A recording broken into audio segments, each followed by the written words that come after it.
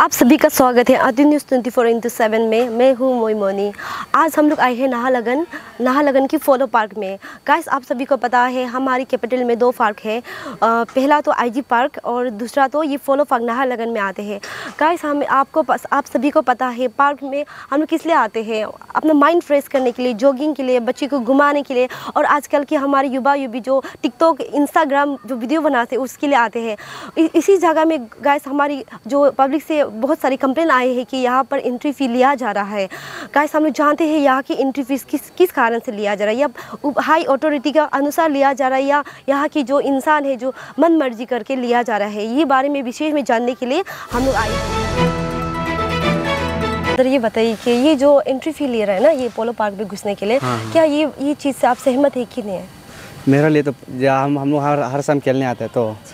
हर शाम इतना बच्चा लोग कहाँ से स्टूडेंट लोग जो स्पोर्ट्स खेलने आते हैं फुटबॉल खेलने आते हैं यहाँ में कोई वो लोग, इसके बाद क्रिकेट भी प्रैक्टिस करने आते हैं पोलो पार्क में चौथा होने से भी। इसमें हर शाम एंट्री फ़ी लेता तो एंट्री फ़ीस ना।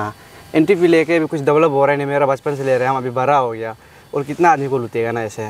कुछ डेवलप गवर्नमेंट भी तो कुछ डेवलप कर रहे हैं पोलो पार्क को बचपन से जैसे था अभी तक ऐसे है। तो सर, वो इंटरव्यू ले रहे ना, लेके हुए लेते हुए मतलब ये बाथरूम सब लोग को टिक कर रहे क्या? कुछ भी तो ठीक नहीं। अब भी अब अब अभी जाके देख सकते हैं सब कुछ ना घूम के देख सकते हैं कुछ भी ठीक नहीं है पोलो पार्क में ना। सब गंदा पेंदा ही है। पहले से जैसे ऐसे ही है। ऐसे मतलब कुछ भी इम्प्रूव नहीं आया ना पहले से लेते हुए एंट्री फ़ी लेते हुए भी कुछ भी इम्प्रूव नहीं आया ना अभी तक? पैसा ले रहे जब से एंट्री फ़ी ले रहे हैं तब से उल्टा इम्प्रूवमेंट नहीं आ रहा है। पहले उससे उससे आगे तो पहले उल्टा था नहीं लेते नहीं लेते समय में ना। जी जी। अभी तो कुछ हो रहा ही नहीं ऐसे ही बेहतर है। मेरा तरफ़ से तो एंट्री फ़ी नहीं लेने से ठीक है ना पोलो पार्क में खेलने आते हैं जो कोई कोई लोग वर्क करने आते हैं। नहीं लेने से ठीक है। इतना, हर शाम देखो, हर शाम में ट्वेंटी आदमी आएगा ना ट्वेंटी करके लगे कितना पैसा आ रहा है?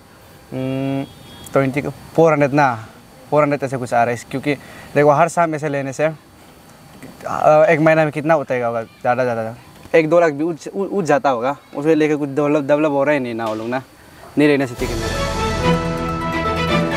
तो ब्रदर्स ये बताइए, जो ये पार्क घुसते समय एंट्री फ़ी लेते ना, उस बात से आप सहमत सहमत है कि नहीं है? नहीं नहीं नहीं। मतलब ये बिल्कुल गलत है ना। लेना नहीं चाहिए। आपका पार्क में भी देखो बच्चा लोग आते हैं बहुत खेल आता है ना। आने का ऊपर से आप इतना हम लोग भी का नहीं अफोर्ड नहीं कर सकते ना। बीस रुपया भी दस रुपया भी नहीं कर सकते हैं। तो मे, मेरा हिसाब से तो लेना नहीं चाहिए। आपका आई जी पार्क हो गया लेता भी नहीं है ना। इतना बड़ा हो गया आपका लेता नहीं है ये ठीक नहीं है।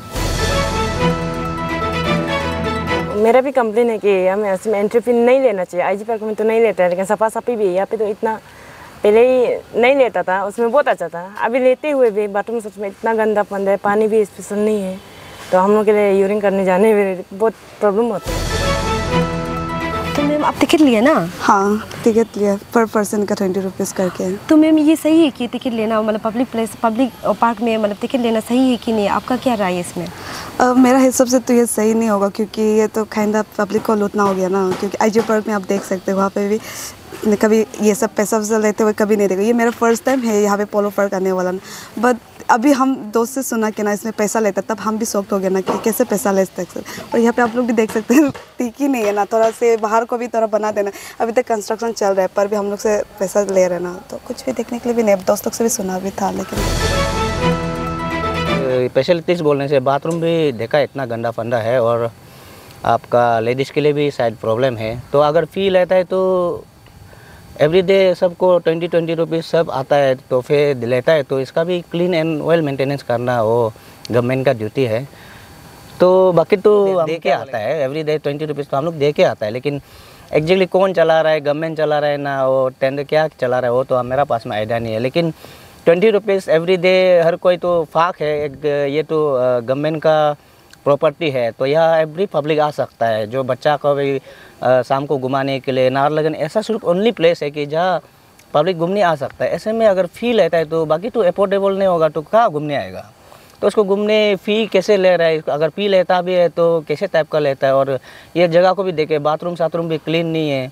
तो कब से चल रहा है, नहीं चल रहा है? हम तो विद इन अभी थ्री मंथ से आ रहा है तो हमको लगता है कि पी लेता है तो आप ये सराउंडिंग को भी क्लीन करके बाथरूम लेडीज़ के लिए स्पेशली वो सब प्रोविजनल अच्छा से करने से ठीक है। हाँ पी का एंट्री को तो रियली नॉट सहमत तो नहीं है क्योंकि पब्लिक प्लेस है तो सब पब्लिक तो ओपन आ सकना है ना। वो गवर्नमेंट का ड्यूटी है गवर्नमेंट उसको क्लीन रखना नहीं रखना वो तो गवर्नमेंट का ड्यूटी होता है। ये गवर्नमेंट का एक प्रॉपर्टी है तो प्रॉपर्टी को प्रिजर्व करके रखना यहाँ का सराउंडिंग क्लीन रखना और गवर्नमेंट का ड्यूटी होता है। और फ़ी क्यों ले रहा है वो हमको भी समझ में नहीं आ रहा। है थैंक यू सर यहाँ की पब्लिक का कहना है कि यहाँ में इंटरव्यू लेते हुए भी यहाँ की इंफ्रास्ट्रक्चर ठीक नहीं है डेवलपमेंट ठीक नहीं है, यहाँ के बाथरूम ठीक नहीं है। तो इस कारण से पब्लिक लोग बहुत ही नाखुश है ये पी के कारण। तो उसके बारे में व्यूवर्स आपका क्या कहना है? कमेंट सेक्शन में प्लीज़ बता दीजिए। मैं हूँ मोहिनी विद कैमरा पर्सन दौरातुत